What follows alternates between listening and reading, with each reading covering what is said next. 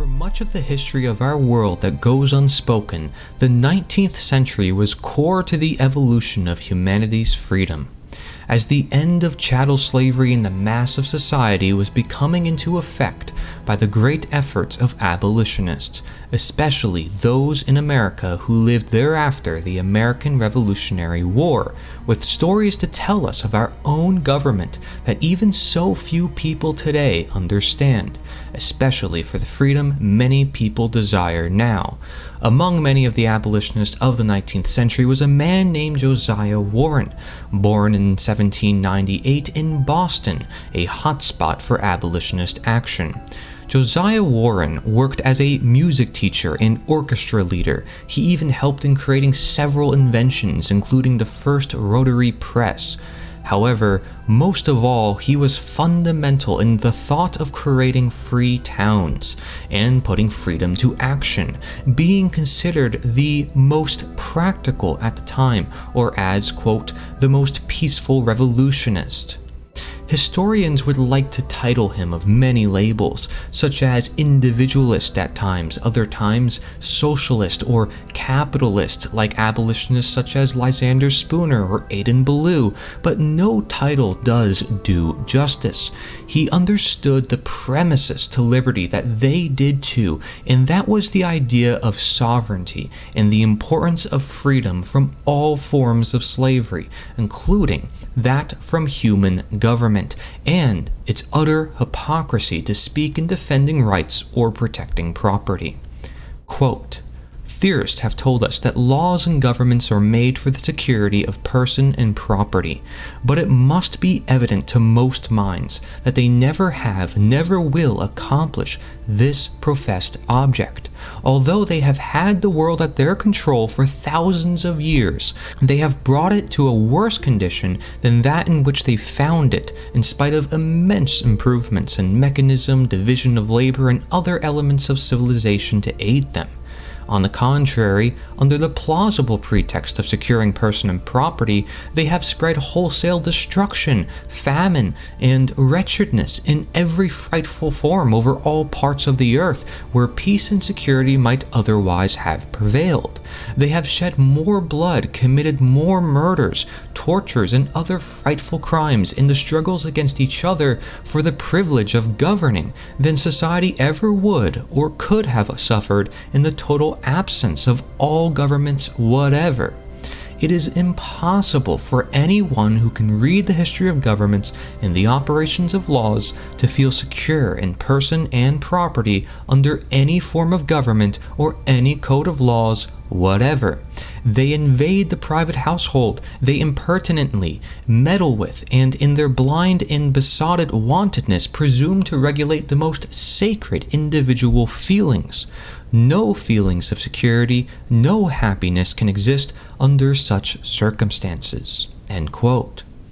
Quote, the more business there is thus committed to governmental management, the more must each of the governed surrender his liberty or control over his own, and the greater must be the amount of power delegated to the government.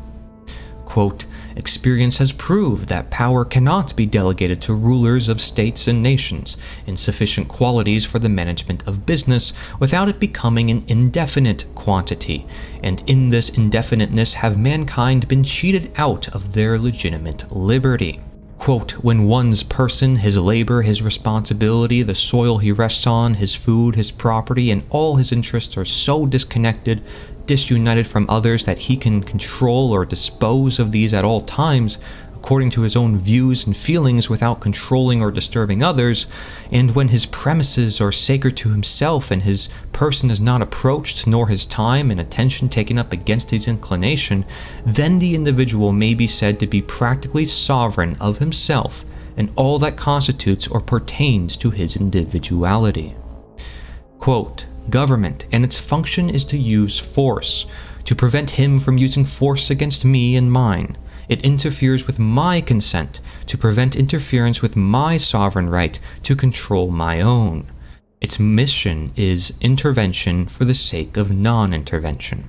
Quote, government, strictly and scientifically speaking, is a coercive force, A man, while governed with his own consent, is not governed at all.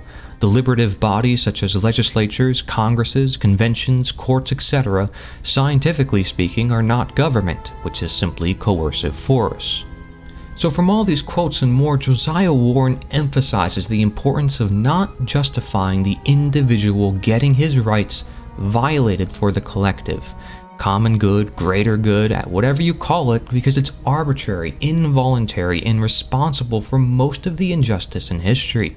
He heavily details the natures of governments, their immoral functions, in many scenarios to prove the point that they never can and never will protect only the rights of individuals or their property, going so far as to debunk claims by American founding fathers within his writings.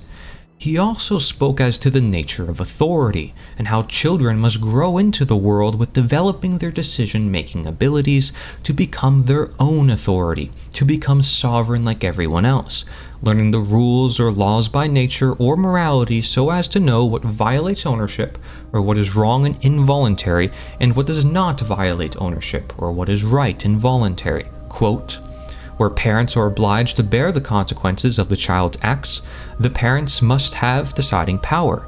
But in things in which the child can alone assume the cost of his acts, he may safely be entrusted to the natural government of consequences. Of importance in the world of division, he also speaks about what unity truly means. Quote, a union not only on paper, but rooted in the heart, whose members, trained in the constant reverence for the inalienable right of sovereignty in each person, would be habituated to forbearance towards even wrong opinions and different educations and tastes, to patient endurance of irremediable injuries, and a self governing deportment and gentleness of manner, and a prompt but careful resistance to wanton aggression, wherever found, which would meet with a ready and an affectionate welcome in any part of the world. It is something that is practical to strive for in humanity, consisting of embracing our differences and not imposing our will on others. It is simple moral education of live and let live, or the golden rule, or the non aggression principle. Quote, if the human race is destined to any true civilization, the means of attaining it have yet to be learned by old and young.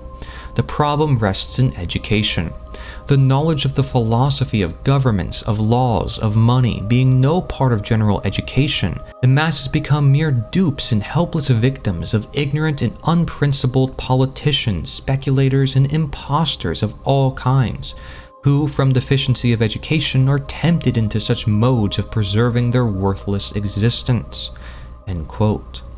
From a biography of Josiah Warren, which compiles much of his writings, it states in its introduction, in speaking about abolitionists like Ralph Waldo Emerson or Warren, that, quote, it follows that the institutions by which we try to bring one another to heel, or to impose our own conscience on that of others, are violations of our nature and of nature.